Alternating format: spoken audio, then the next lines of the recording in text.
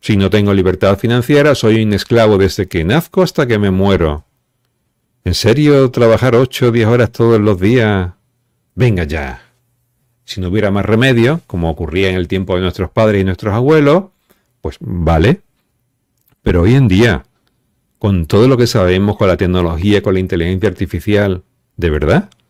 ¿Vamos a seguir trabajando por horas? Trabajar por horas es vender tu tiempo y se llama prostitución. No estás vendiendo tu cuerpo, estás vendiendo a lo mejor tu mente. Te estás vendiendo por dinero, chaval. Estás vendiendo por dinero, estás vendiendo tu vida por dinero. ¿Que no te queda más remedio? Vale. Y a mí, en un momento dado de mi vida, tampoco. Venga, vale. Pero que sea temporal. ¿Quieres conciencia, dignidad y libertad? No puedes estar trabajando para otro. A no ser que tú digas, no, es que me pone, es que me mola trabajar para otro. Pues si estás siendo coherente contigo, un 10 para ti. Porque tú eres el que decides. Lo voy a repetir, porque parece ser que no está muy claro. Tú eres el que decides, no otro. Ni siquiera vale lo que yo digo. Lo que yo digo es, bueno, pues para reflexionar, para hablar, para contrastar, yo te sirvo de espejo. A veces te pongo las palabras que tú no tienes, te pongo las ideas que tú no tienes y tú dices, anda, Luman, gracias por eso que has dicho porque ahora me di cuenta de, pero te has dado cuenta tú, ¿vale? Yo te puse el constructo, la palabra, la construcción, el camino, pero ¿lo has recorrido tú o no? Y no puede ser de otra manera, ¿vale? Porque si de otra manera ya no eres tú, es lo que te están diciendo, ¿no?